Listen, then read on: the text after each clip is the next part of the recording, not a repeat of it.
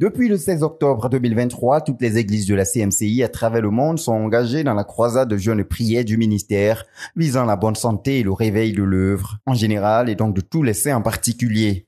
À la CMCI Côte d'Ivoire, précisément à l'église d'Abidjan, le pasteur Boniface Meignet conduit chaque jour l'église dans les prières de 22h à 4h au siège de l'œuvre à Abidjan, Cisa Djamé Liberté, poursuivant les objectifs principaux de cette année à savoir la plénitude du Saint-Esprit et l'émergence des dirigeants équipés de dons spirituels pour œuvrer efficacement à la croissance numérique et qualitative de l'Église. Ayant franchi le mi-parcours depuis le 5 octobre dernier, les 22 jours déjà écoulés ont été riches en édification et en orientation du Seigneur, portant sur les implications des objectifs centraux de cette édition 2023 de la croisade du ministère.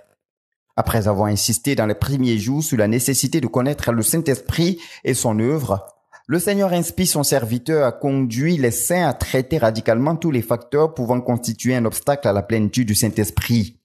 À cet effet, les frères doivent se débarrasser de tout péché et renverser toute idole du cœur. Aussi la nécessité de bannir les craintes et les frayeurs, le renoncement au moi, le brisement et la guérison intérieure, passant par la guérison de toute blessure et de toute frustration, ont été au menu des travaux visant à ôter tout obstacle à la plénitude du Saint-Esprit. En ce 6 novembre qui marquait le 22e jour, c'est le travail sur la guérison intérieure qui a été au cœur des prières. Un travail qui consiste à établir une liste de toutes les humiliations et frustrations rencontrées dans la vie, recenser la liste des décisions qui ont été prises à cause de ces humiliations et frustrations, recenser les actes posés à partir de ces décisions prises, renoncer à ces décisions et demander pardon à Dieu pour tous les actes posés sur la base des blessures et frustrations, opérer la restitution où cela est possible, garder son cœur pur de toute blessure, de toute frustration, le tout devant être soutenu par une vie continuelle dans les actions de grâce à Dieu en toutes choses, conformément à 1 Thessaloniciens le chapitre 5 le verset 18 où il est écrit Rendez grâce en toutes choses, car c'est à votre égard la volonté de Dieu en Jésus-Christ.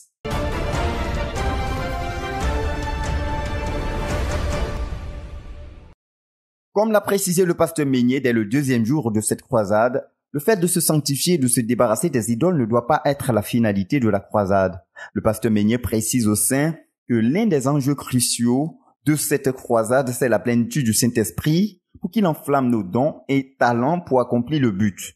Ainsi, le fait de créer les conditions pour la plénitude du Saint-Esprit et de demander de nouveaux dons ou le renouvellement des dons spirituels et talents ne doit pas être une fin en soi, mais plutôt doit conduire chaque frère à s'investir de manière plus efficace dans l'accomplissement du but.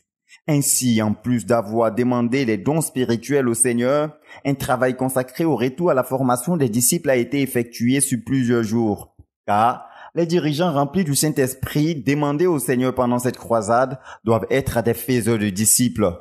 La prière pour l'établissement de chaque saint dans les piliers de la formation des disciples a marqué par exemple la douzième nuit de prière, lesquels piliers sont l'imitation de Christ, l'imitation du modèle humain, l'enseignement à observer ce que le Seigneur a prescrit et ce que l'on a appris du Seigneur, garder avec soin les disciples, partager les expériences spirituelles avec les disciples. À la suite de ce jour, le processus nécessaire pour la formation des disciples a été au centre des prières de la treizième nuit, à savoir proclamer l'évangile aux païens afin qu'ils naissent de nouveau en Christ et le présenter clairement le Seigneur et Sauveur Jésus-Christ. Conduit celui qui accepte le Seigneur Jésus à la repentance envers Dieu le Père le conduit au baptême dans l'eau et aux restitutions ainsi qu'au ministère de délivrance incluant le brisement des liens malsains et la guérison intérieure entre autres et commencer à bâtir le disciple en lui enseignant les neuf conditions d'être disciple. Les objectifs quotidiens des disciples qui consistent à chercher Dieu, trouver Dieu, connaître Dieu, aimer Dieu et faire de Dieu sa joie suprême ainsi que partager son expérience avec les autres doivent être inculqués aux jeunes disciples lesquels objectifs se traduisent concrètement dans la pratique quotidienne des 16 routines spirituelles? Travailler à la sanctification en se débarrassant de tout péché, de toute idole et de toute blessure intérieure en vue de la plénitude du Saint-Esprit et le renouvellement ou le revêtement de talents et dons spirituels, le tout visant une poursuite efficace de notre but qui passe par la formation des disciples pour le Seigneur Jésus-Christ, garant d'une croissance numérique et qualitative de l'Église Tels est dans l'ensemble les travaux quotidiens autour desquels s'articule chaque nuit de prière de cette croisade à l'église d'Abidjan. Le que tout en traitant certains cas spécifiques sous la direction du Saint-Esprit, le pasteur Meunier conduit les prières en toute harmonie avec les enjeux découlant des messages donnés par le leader Théodore Endossé à Koumé. Ce 7 novembre verra la 23e journée de cette croisade de jeûne et prière du ministère. Il doit se clôturer le 24 novembre prochain.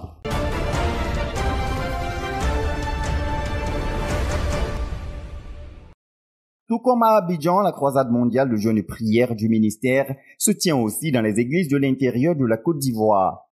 À l'église locale de San Pedro, après un moment de travail individuel de chaque saint sur la sanctification et le renversement des idoles, les prières collectives relatives à la croisade ont débuté le lundi 23 octobre 2023 dans l'enceinte du temple de la CMCI dans la dite localité sise au quartier Lac Sonoko. À San Pedro, les réunions se tiennent tous les soirs de la semaine de 18h à 22h et le samedi de 16h à 20h sous la direction du pasteur Emmanuel Kwao. Et le dimanche, les réunions de prière se tiennent dans chaque zone sous la direction des anciens. Dès l'ouverture de cette croisade, le pasteur Emmanuel Kwao, dirigeant de la CMCI dans le Bas-Sassandra, a posé les jalons de ce vaste programme qui implique la participation des disciples du Seigneur Jésus-Christ dans la région. En montrant que nous avons plusieurs croisades dans notre œuvre en Côte d'Ivoire savoir celle du mois de juillet à août pour le renversement des principautés personnelles et familiales, et celle du mois d'octobre qui est mondiale, qui vise la bonne santé et le réveil de l'Église. Une troisième qui se tient entre janvier et février pour la prière pour la nation, pour ne citer que ces trois principales croisades de l'année. Le pasteur Emmanuel Kwao rappelle au sein le but du jeûne de cette croisade de cette année 2023 insistant sur l'un des fardeaux cruciaux qui est la recherche des dirigeants remplis du Saint-Esprit qui ont des dons spirituels pour être des appuis efficaces de l'œuvre dans la conquête des âmes, la formation des disciples et l'implantation des églises. Hier, nous avons prié que les frères recherchent le Saint-Esprit. Le grand fardeau de cette croisade de prière, non seulement c'est le réveil, mais que Dieu nous donne des dirigeants remplis du Saint-Esprit qui, ont, qui des dons spirituels et des ministères distincts pouvant nous aider à accomplir le but de la phase 3 et le but global.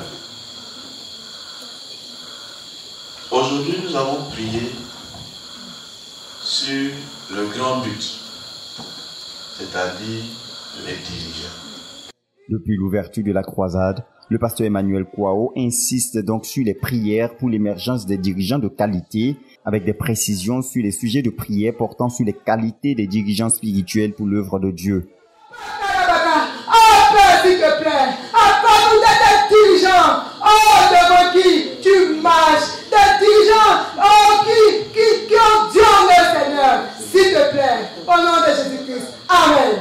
Aussi, la plénitude du Saint-Esprit est recherchée chaque jour par les frères au cours de cette croisade à l'église de San Pedro.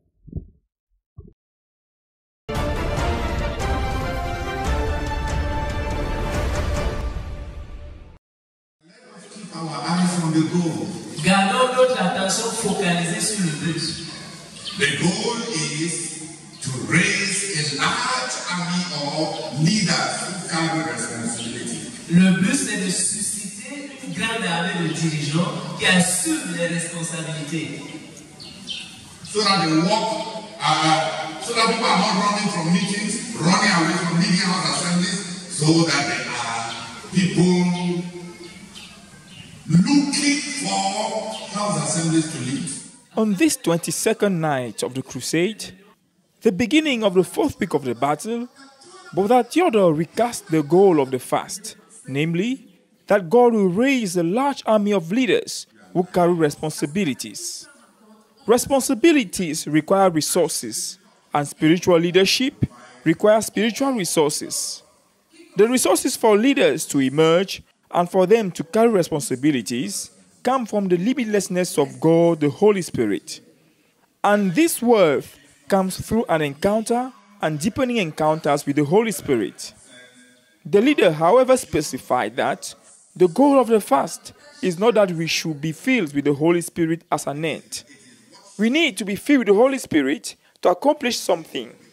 In the Bible, when the Holy Spirit came on people, they had before them a pressing responsibility to which they were inadequate. The apostles, for example, had to start accomplishing the Great Commission. The judges, like Othniel, Jephthah, Gideon, Samson, all had huge and pressing challenges in front of them when the Holy Spirit came down. In the same way, when he had his first Pentecost, Brother Zach had a huge challenge in front of him.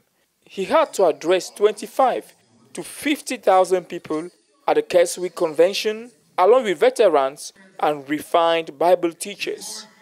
Therefore, the leader asserted if you have something in your life for which you cannot transfer the blame to anyone else but you, you will surely be filled with the Holy Spirit. In other words, something that depends only on you, not collective responsibility. What we need for us to receive the fullness of the Holy Spirit is personal consecration to the goal. We need to take responsibility. But Theodore concluded by reminding the goal of the fast once more. A large army of leaders filled with the Holy Spirit, with spiritual gifts, and who carry responsibilities.